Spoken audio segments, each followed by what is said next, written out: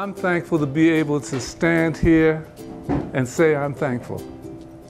It's been a wonderful year, and we've had so many opportunities uh, to come, and we've been able to take advantage of so many things. I'm just thankful for everything that's been happening. I'm thankful for my family. You know, it's a, it's such a blessing to have a, a family that gets along. My immediate family and my extended family. We are so blessed that we get along with one another and, and have a good time together. And so that is what my uh, biggest uh, appreciation, thank God for, for my family. And I also like uh, my uh, uh, colleagues and job at Pasadena City College. Those are some good things. As well as the many years I've worked at uh, the Pasadena Media and producing uh, different programs. And I am so happy for the opportunity to, uh, to do that and to communicate with you as the audience and uh, just the whole experience here.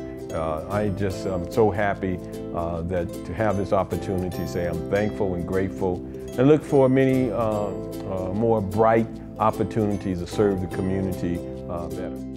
We always talk about patriotism, how much we love our country. But in reality, it's those who don the uniform and do all the dirty work get it all. To all my veteran buds and all veterans, thank you. I'm thankful for good health, a great family, a good circle of friends, and the opportunity to bring great content to the city of Pasadena. I am just thankful every morning that I wake up. I thank my Creator. I thank God for just giving me this awesome family that I just love. I am thankful to be able to work in a creative environment so that I can share my love and joy. Thank you. I would just like to wish your family a festive and happy Thanksgiving Day. And family is what I am most thankful for, and I trust and hope you will be thankful for your family as well. Happy Thanksgiving.